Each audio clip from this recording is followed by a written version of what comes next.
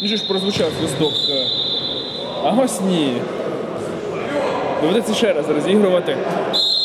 І розпочинається другий тайм матчу Ліверпуль Монте-Карло. Рахунок 8-0. Ну що ж, насправді для одних цей тайм був прекрасний. Навіть елементи шоу ми побачили вже від, Ліверпуля, відверто кажучи. Ну а для Монте-Карло він був, я думаю, не дуже приємний цей тайм. Побачимо, що зміниться у другому чи зміниться. Як ти думаєш, Артуре? Ну, я думаю, что Монте-Карло хочет забить свой мяч. И вот как Было? никогда были близки в этой встрече. к Тому, чтобы забить. И плюс отложенный фол мы слышим. Угловой зарабатывает Монте-Карло таким образом.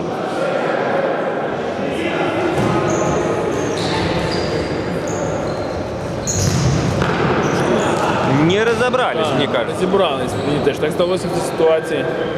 Багарій забирає цей м'яч, одразу вкидає на Реміженко. Как диагонально Малиновский Константин открывался, перехватывает с передачи. Калюжный. Але задовго тримав, Ребіженко вже встиг вернутися поправити. Орлов вже підключає його до цифрової атаки. А от відкритий був там на дальній Миляновський, я думаю, чекав передачу.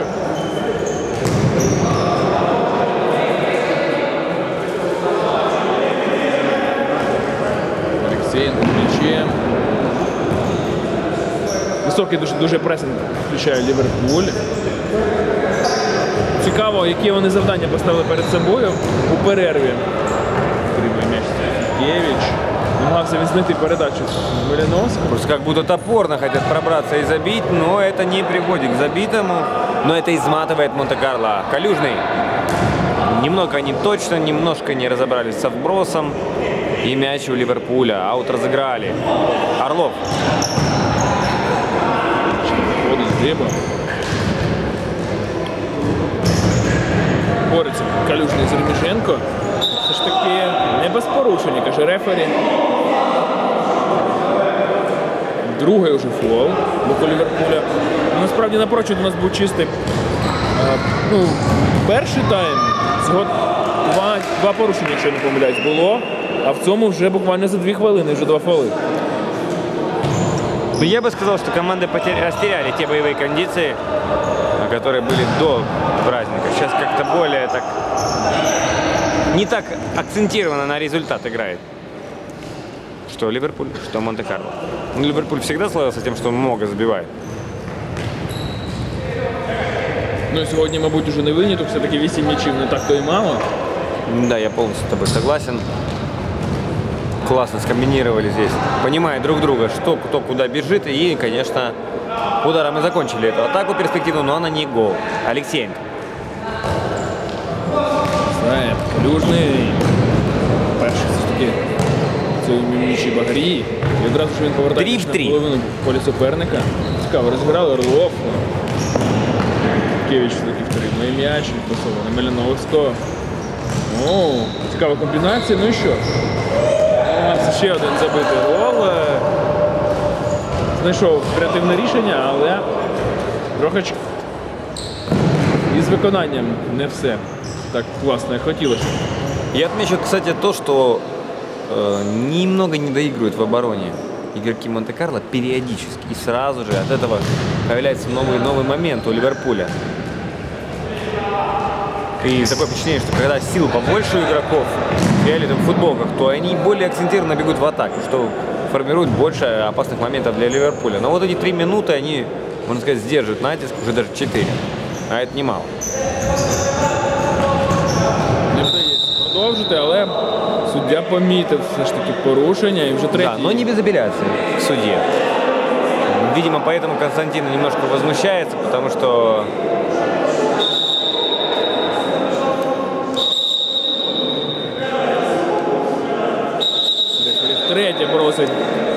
м'яч на те місце, на якому власне і було порушення.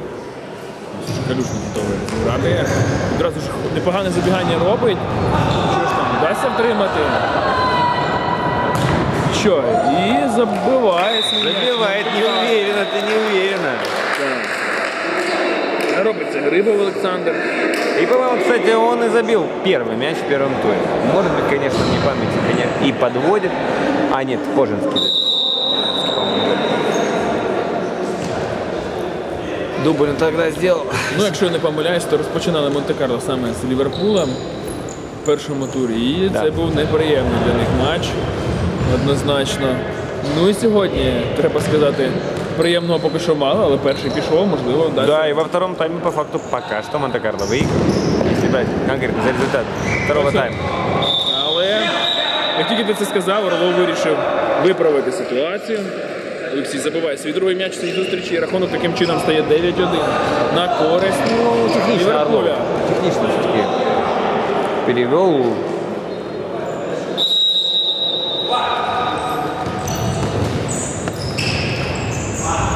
Шишлов э, в- просто в игрока сыграл, но сохранил мяч для команды. И снова открывается Монте-Карло. До Марії, але вчасно перехоплює Янович.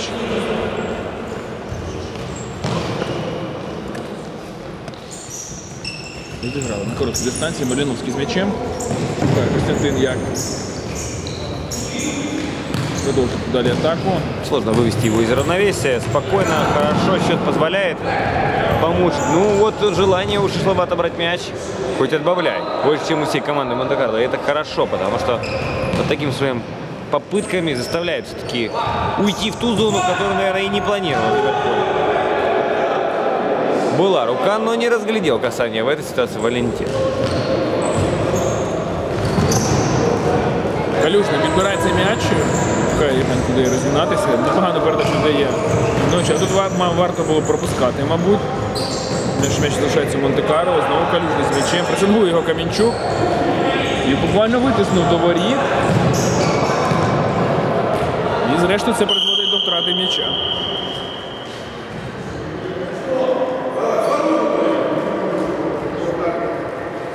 Жовту картку треба. А вот Андрей увидел, увидел все-таки Да. эту руку. Не без паузы, но все же. У судей тоже были праздники. Удар. Сильно.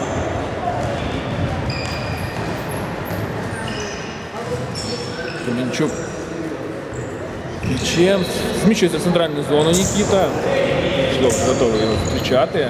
Але не йде сильно так в наступ. Доводиться включити Миронова, той Рінькова.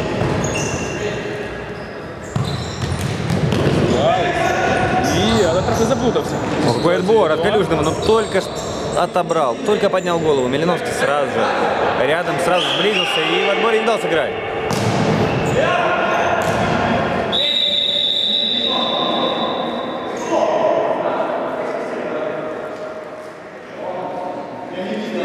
Свистеть нельзя на поле, и именно поэтому желтую карточку получает Шишлов.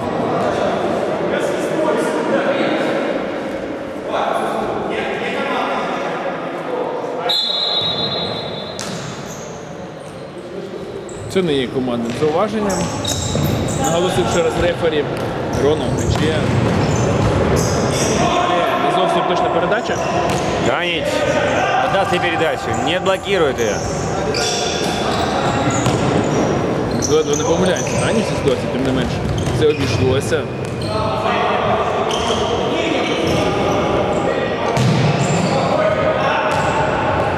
Вперед. Ну якось так. Ледве не помиляється в цій такій простій ситуації Багарі. Навіть не знаю, може вирішив додати адреналіну трохи своїм себе Вони трохи прокинулися. Каменчук.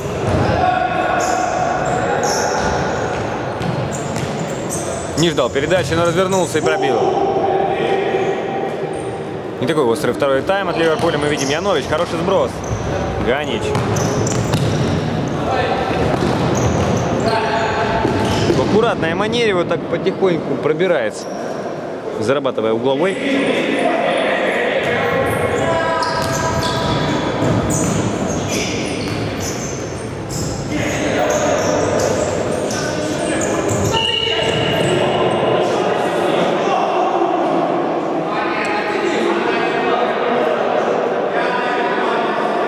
І ось уже п'ятий фол з боку Ліверпуля. Ну що ж, Недовольные Никитой, что полез на двоих игроков, когда можно было просто линейно отыграть левее на партнера по команде. Ну и мы видим, что немножко так накаляются атмосферы. так, можливо, ми побачимо драматичний Шестой другий тайм. ставили. не. Ну, драматически вряд ли мы увидим, но Забитий. за емоціями, а. А. не за інтригою. Ну, намагався якось перехитрувати ці ситуації. Віктор, наче задумка со вкусом, но исполнение подкачало. Кореньков левее, Каменчук. В поясницу попал. Коренькову погрел спину партнера. Ганич, Калюжный. А вытянул таким образом двоих игроков. так, непогано може зараз атакувати Монте-Карло, але не точну передачу віддав Янович і ось уже Ліверпуль перейти в атаку. Треньков. Миронов, а той підключає Каменчука, який зміщується, шукає можливо удар. Как Шишло в отборе сыграл. Ну, трошки брудновато, два м'ячі навіть нас на полі. Але це нікому не заважає. Люшний пробиває, заробляє таким чином готовий.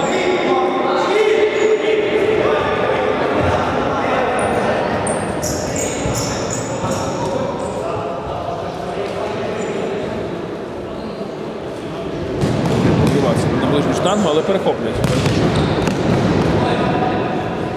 Підкевич.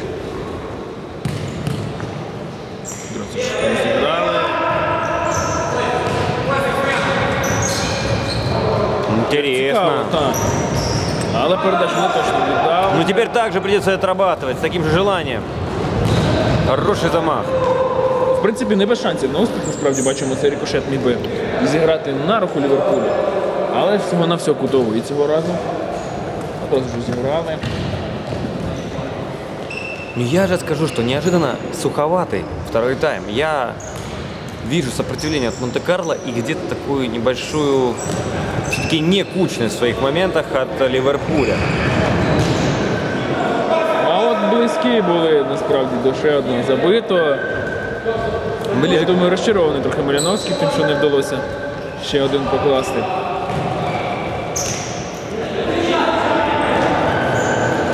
Цікаво, передача. А нічого, знову він з м'ячем якраз.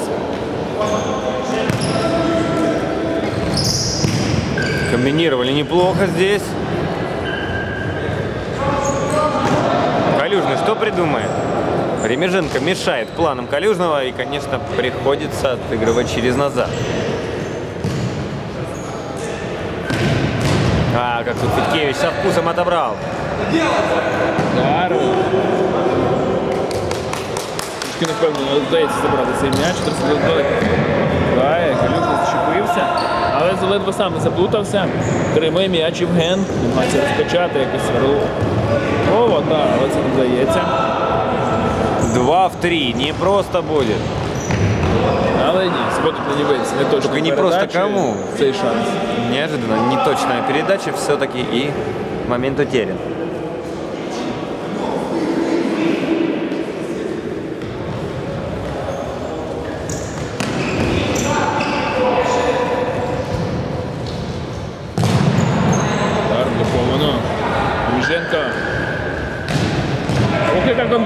Це насправді класна була. Встигає Реміженко і ще й замкнути її. Забиває хороший, як на мене, десятий. Гол. Ефектно це виглядало, динамічно. Да, ну Орлов хороший игрок.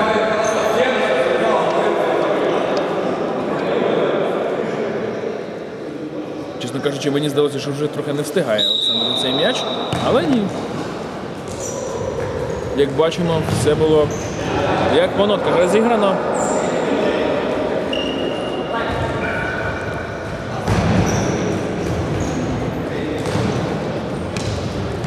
Неровно. Ракети.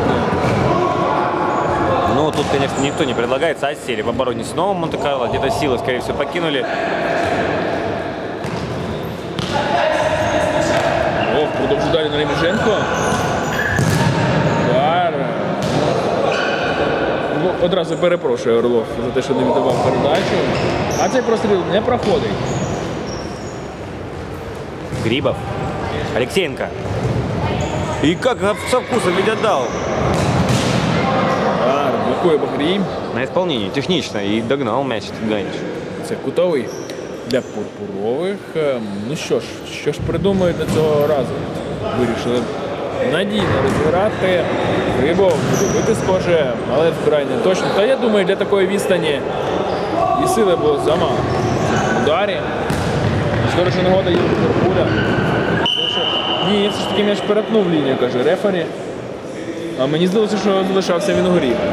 А мне все же сложно сказать, но он выкатывался. И, видимо, немножко замешкался со своим решением с передачей футболист Ливерпуля. И вот стало это залогом того, что все-таки судья посчитал, что мяч покинул пределы поля.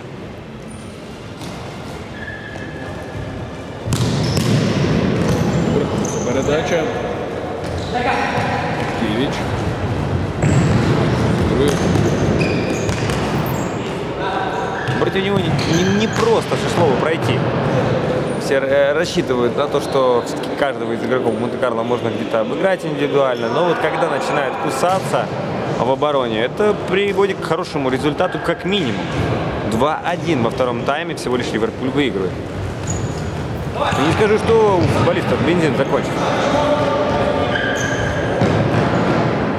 Да, может немножко холостые атаки моментами, но Ну, однозначно, не, не такі продуктивні, як у першому таймі, як ми бачимо.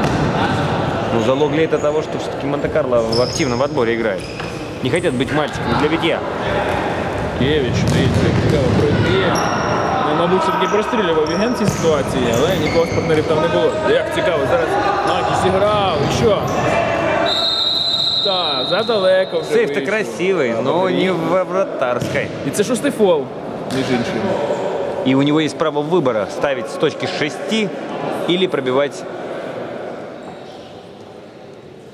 Все-таки побачили ми шостий фол. В цій грі, ну і що ж, жов порадилися рефері і вирішили дати жовту в цій ситуації. Як думаєш, що можливо виникли сумніви, чи давати одразу пряму червону Артуре, чи чи що? Возможно, об этом были мысли. Я считаю, объективное решение. Вратарь не всегда может прям на 100% знать, где его зона вратарской. М, Не знаю, честно говоря, в этой ситуации специально ли. Ти думаєш, просто в запалі.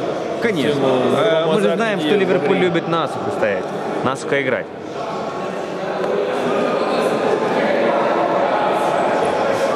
Так, вирішили все ж таки не з точки бити, а бити власне з місця порушення.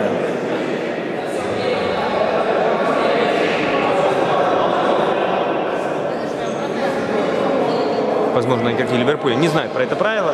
Насчет шестого фола. Но у нас был момент в Суперлиге, в котором пришлось подучить правила футзала. Как же разыгрывается. И да, если фол ближе, игрок выбирает и может пробивать как бы почти чуть ли не с пенальти. И Ганича есть прекрасная возможность забить второй и сделать во втором тайме 2-2, ну а по сумме матча 10-2. Ну що ж, я думаю, що в будь-якому разі другий забитий трошки додасть солодкого. Гріє вирішив. Почему так слабо пробил, мне не ясно. Но Думав, мабуть, перехитрувати Багарія, але це не вдалося. Як вже Ліверпуль намагається відповісти. Не вдало.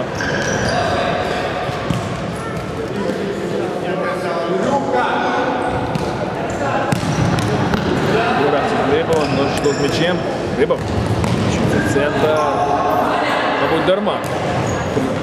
Чіпав цей м'яч. А ніч. Але бачимо, що атака Ліверпулю завершиться власне нічим. Не встигає на цю передачу Міронов. Та я й думаю, і важкувато було б йому встигнути. Да, не с мячом.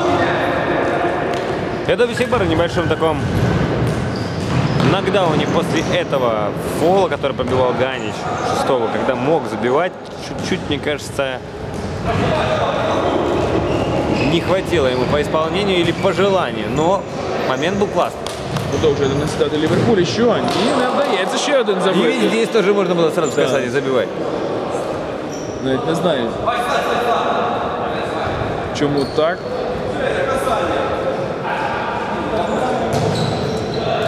Простріл, але не встигав туди Малиновський, якщо ця передача адресувалася йому. Южний. Даня. Алексеенко, так касание пробить, ну, конечно, Багри не тот вратарь, который пропустит такой мяч. Залишається ще одну хвилину грати. Каже рефері. Ну, в принципі, я думаю, що доля трьох очок була вже вирішена в першому таймі. Залишилося нам розібратися в другому таймі, з яким саме рахунком завершиться цей матч. Ну і таке враження, що Ліверпуль хоче ще один хоча б забити, аби багато цих плюс 10 м'ячів. Трошки засмутило таке враження це Нікіто. Розраховував він на дві хвилинки. Не те, що точно зможуть забити хоча б ще один. Можливо, можливо. Так, як говорі перші м'ячі. Але порушення все ж таки було, каже рефері, тому буде пробувати штрафний.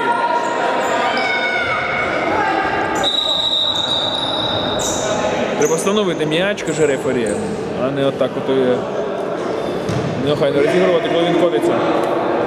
Що власне і робить Ліверпуль.